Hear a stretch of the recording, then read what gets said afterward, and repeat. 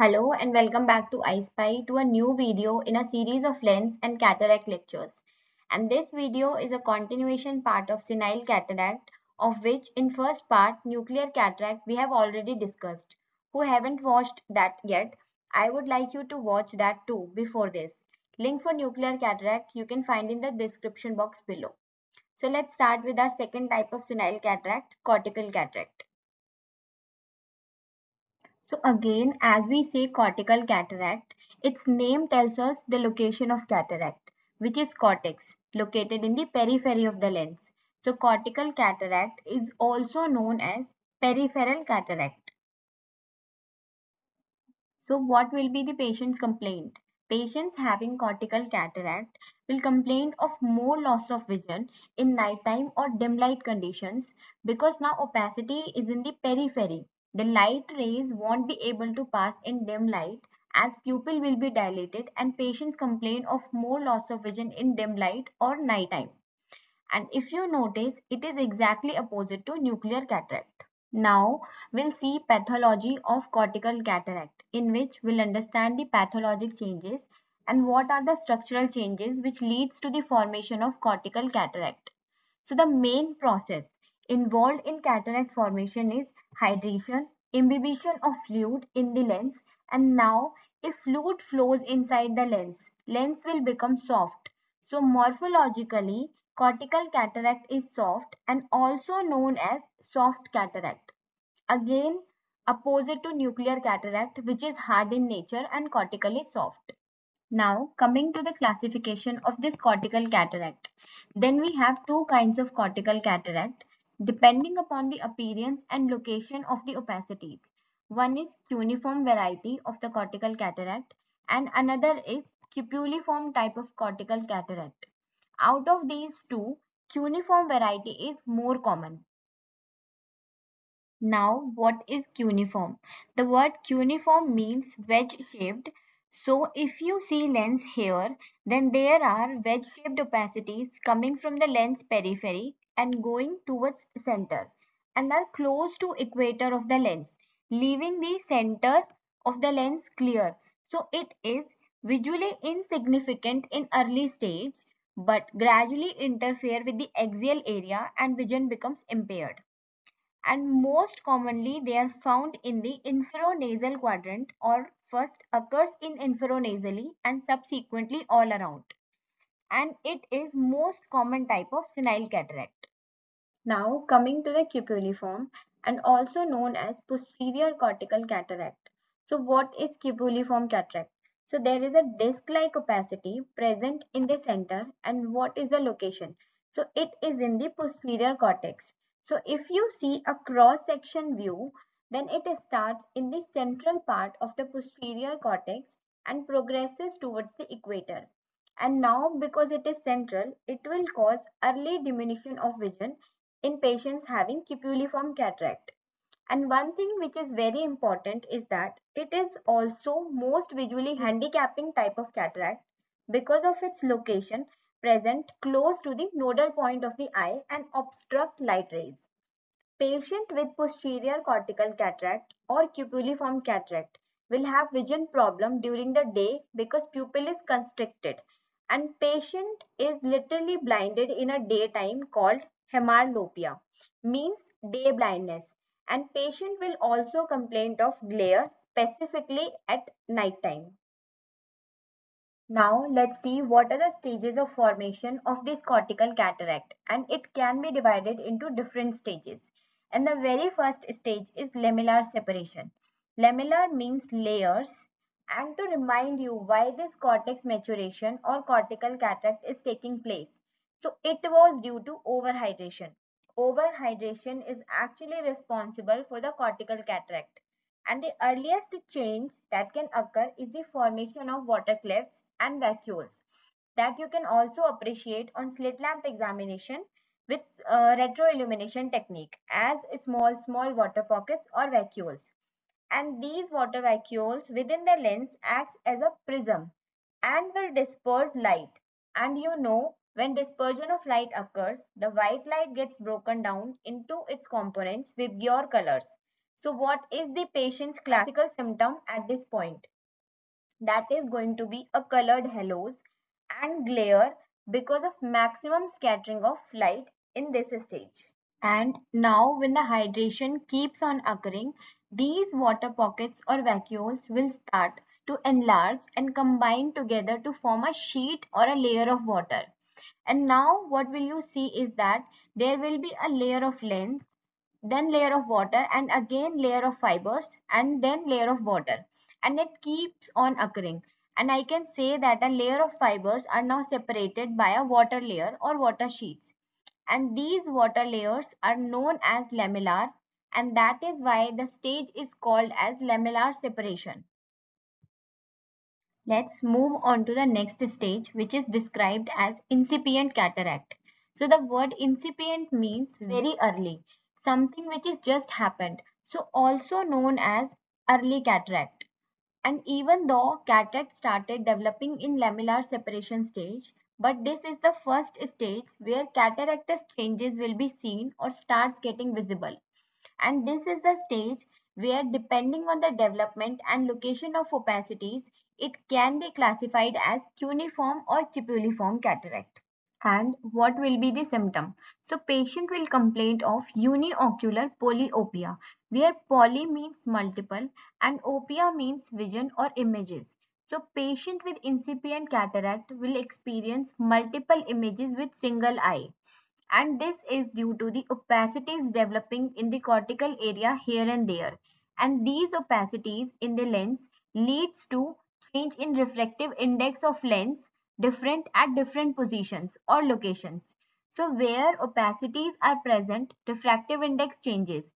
And at different areas of lens, we have different refractive index and when we have multiple refractive index so we have multiple powers and multiple focal lengths means multiple images so in this stage patient will have uniocular polyopia now because more and more hydration is taking place so further changes happening in lens and there will be a third stage called immature senile cataract or we usually call it as IMSC. So what is the meaning? What is the immature here? So here immature means partial. So there is a partial opacification of lens fibers and called as immature senile cataract. Now partial opacification means there is still certain areas are clear and we have a clear cortex present in the lens. So in immature stage, most of the fibers have become opaque and we have combination of clear and opaque lens fibers. And due to this combination, there are certain findings that you get in IMSC, in which first of all, talking about the color, the color is grayish white. It is grayish white in color due to this partial opacification. And now second thing is that you can see in IMSC is it also shows iris shadow. So iris shadow is present here. And if I talk about vision, then vision may be reduced to finger counting. Now, due to the continuous overhydration, lens is becoming swollen and swollen. And there is a change in the morphology of lens. The shape of the lens has become swollen. It has increased in size. And we call it intumescent cataract, where intumescence means swelling of cells. And here intumescent means swollen, full of water. And this is the next stage in the cortical maturation, which may or may not occur. So this is a plus minus kind of stage if it doesn't occur, the immature cataract progresses to become mature cataract. Now back to the intumescent. So when the lens is full of water or swollen, it affects adjacent structures around the lens. So let's see, this is the normal lens here. And here, when the lens is swollen up, it pushes aqueous humor and iris forwards.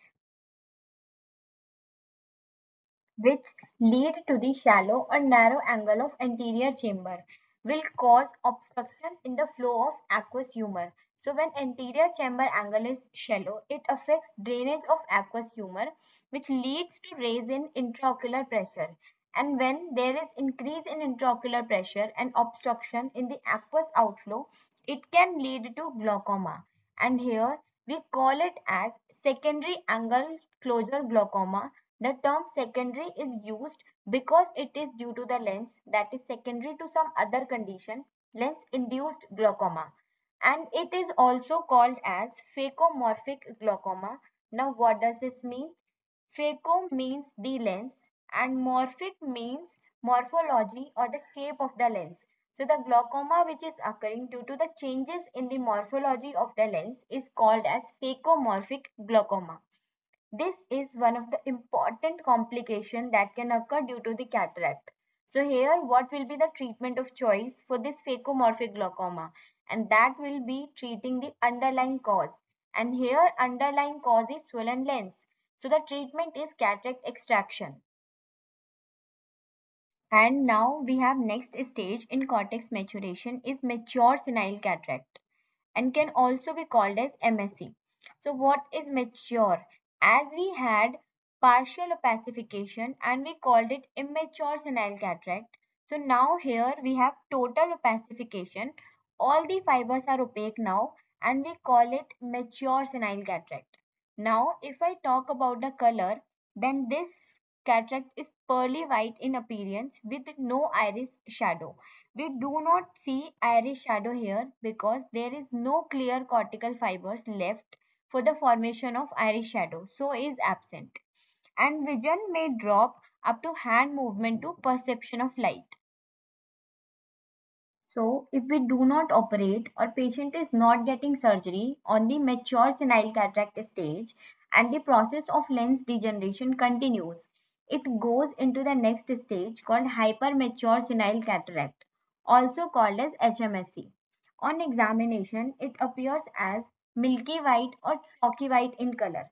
Hypermature cataract can present in two forms. Either it can present as a Morgagnian hypermature cataract or it can present as a sclerotic hypermature cataract. Let's begin with Morgagnian cataract. In Morgagnian cataract, we are getting the lysis or the liquefaction of the cortex proteins. So the proteins which are present in the cortex, they are becoming solid to liquid. They are getting liquefied with intact capsule. So there is no problem with the capsule that is absolutely fine but becomes semi-permeable or leaky. So let's see with the diagram here. We have ocular structures and the lens holded by ciliary zonules. And we have nucleus in the central area having brownish or yellow color and surrounding the nucleus is cortical cataract which was supporting the nucleus but now these proteins have become liquefied. Cortex itself a fluid and therefore no support for nucleus and nucleus sinks or will settle down at the bottom due to the effect of gravity. And this is what a Morgagnian cataract looks like on a slit lamp. This yellowish brownish color object that you can see at the lower part is the lens nucleus that has sunk to the bottom of the capsular bag and rest of it is a liquefied cortex. So what will happen? The lens capsule is now converted into a bag of milky white fluid with nucleus settled down at the bottom. Now what happens outside the lens?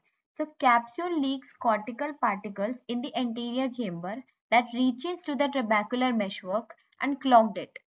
And as a result, aqueous outflow is impaired, which will again lead to glaucoma. But now the AC angle is open so is called as secondary open angle glaucoma or also called as phacolytic glaucoma where phaco is for lens and lytic because the lysis happens in the lens which is cortex proteins becoming solid to liquid. So this is another important complication that can occur due to cataract. And what will be the treatment of choice for this phacolytic glaucoma is again by treating the underlying cause which is extraction of cataract. Now coming back to another type of hypermature senile cataract which is sclerotic hypermature cataract. And the sclerosis means thickening or hardening of a structure and it is quite different from the Morgagnian cataract where cortex proteins becomes liquefied and opposite to that in sclerotic we got disintegration of cortex and turns thick in consistency. Because of that whole lens shrinks in size lens volume decreases and in addition to that, lens capsule become wrinkled that you can see on slit lamp examination. So this is sclerotic type of hypermature cataract. You can see that this is a total cataract but opposed to mature cataract, this hypermature cataract has a dirty white appearance and the capsule looks wrinkled and opacified and this is a hypermature cataract of sclerotic type. And here we are done with the cortical cataract, stages of cortical maturation, symptoms, signs and clinical features and complications related to that. In the next video, we'll see another type of acquired cataract. Thank you for watching.